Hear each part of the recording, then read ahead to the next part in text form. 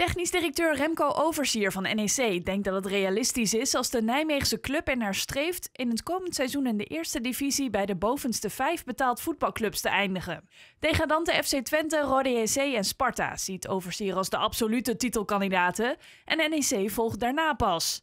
In een interview geeft de technische man toe dat hij fouten heeft gemaakt, maar dat wil volgens hem nog niet zeggen dat hij het veld moet ruimen. Overzier is druk bezig met de samenstelling van de selectie en de zoektocht naar een nieuwe trainer.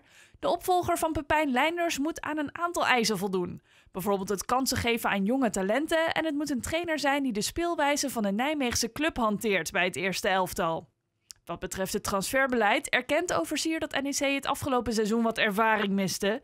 In de winter liet hij vervolgens vijf spelers gaan, maar haalde hij niets terug.